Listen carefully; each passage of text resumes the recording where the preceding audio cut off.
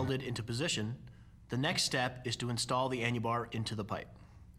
In this chapter, we will show the installation process for both a Pak-Lok assembly and then a flange Flo-Tap assembly for a pipe that is in service. We will begin by demonstrating how to install the pack lock assembly. Start by screwing the threaded studs into the Pak-Lok body. Next, mark the bottom of the Annubar sensor with a felt tip marker. Then insert the sensor through the Pak-Lok body into the pipe until it makes contact with the far side pipe wall. Remove the sensor and verify that contact was made by checking to see that some of the mark was rubbed off the sensor's end. Next, reinsert the Annubar sensor into the pipe. Note that the letters H for high and L for low are imprinted on the top of the head or on the integral manifold.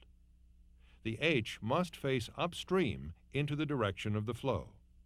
Look for the flow arrow also imprinted on the head to confirm the correct orientation. Carefully insert the three packing rings provided in the manila envelope. They should be installed one at a time between the welded lock ring and the packing follower. To avoid potential leak paths, do not overlap the gaps in the packing. Start a piece of packing at each stud. Use the follower to compress the rings into the slot.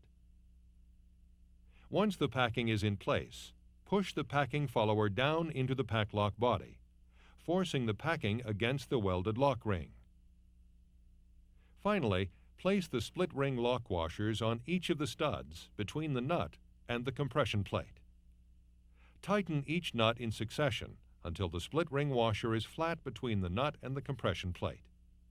These special spring-loaded split washers are designed so the installer knows when to stop tightening the bolts.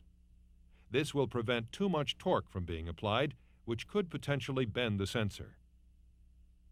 If your unit did not come with a transmitter, you are now ready to mount one on the Pak-Lok assembly.